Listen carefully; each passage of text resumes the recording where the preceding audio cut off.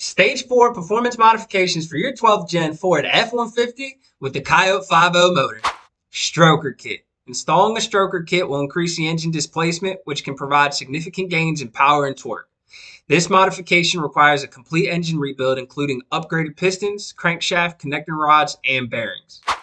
High performance cylinder heads. Upgrading to high performance cylinder heads with larger valves, improved port design, and better airflow can provide significant power gains, particularly at higher RPMs. High performance supercharger.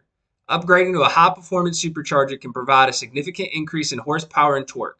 However, this modification requires careful tuning and can be expensive.